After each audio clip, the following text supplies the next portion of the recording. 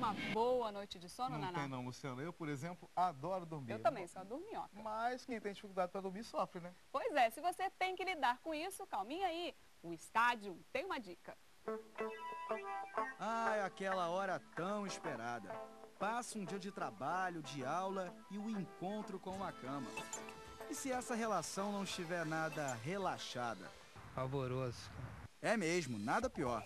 Não tem problema. Tem o vôlei, tem o basquete, futebol, natação, ginástica, um monte de dicas para finalmente resolver essa bendita insônia.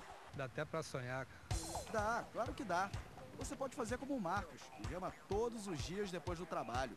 Ou igual o Leonardo, que faz yoga, jiu-jitsu, capoeira e outros mais. Tu chega no final do dia já esgotado, com saúde, a primeira coisa que você quer quando chegar em casa é tua cama, claro, depois de tomar um bom banho e ficar tranquilo para ir dormir. E dorme mesmo? Dorme bastante. Tá vendo? O esporte é um aliado na luta por uma boa noite de sono. Por isso, preparamos uma bula para explicar o que acontece. O corpo produz endorfina, um neurotransmissor que atua como analgésico e traz a sensação de bem-estar, liberada durante os exercícios, responsável pelas boas noites de sono. Algumas dicas: alongamento, exercícios aeróbicos, como a corrida, o ciclismo e a natação. Garantem condicionamento do sistema cardiorrespiratório. Diminui as chances de apneia. Pausas na respiração durante o sono, que podem durar até 40 segundos, e aumenta o cansaço durante o dia, além de evitar a tensão muscular. Mas calma, não realizar exercícios físicos em menos de 4 horas antes de dormir. O motivo? Vamos saber na prática. Opa, tudo bom? Boa tarde. Boa Qual é o seu nome? É José Paulo Farias. Idade? É 27 anos. São 5 e 15 da tarde. Que hora você costuma dormir? É, geralmente, como eu trabalho à noite, é, costumo dormir às 6 da- horas da manhã. Opa, 6 da manhã? E o sono?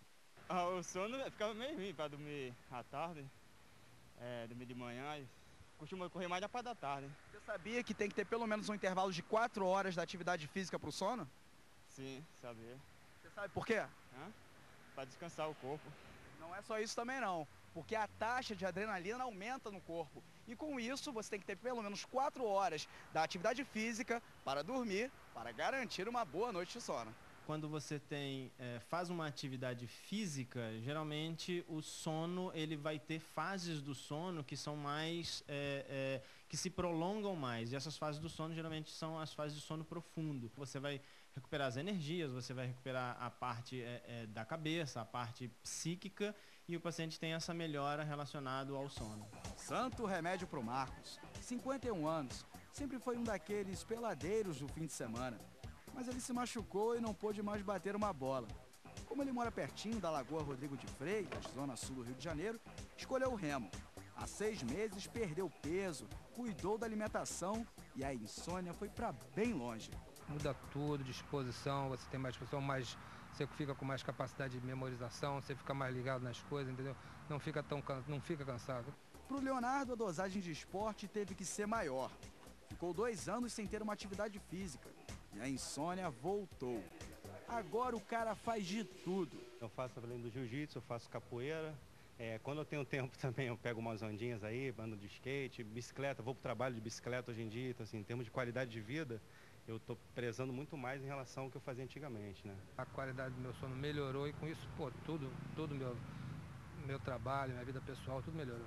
Agora sim, aquela hora tão esperada não é mais. Pavoroso.